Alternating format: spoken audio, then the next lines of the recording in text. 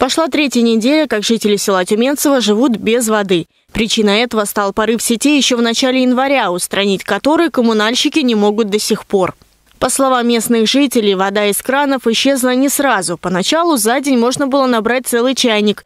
Но после ремонтных работ, которые, кстати, провели спустя неделю, водопровод опустел совсем. Все откачивают, все пытаются делать, но пока у нас безуспешно. Я уже не знаю, что делать.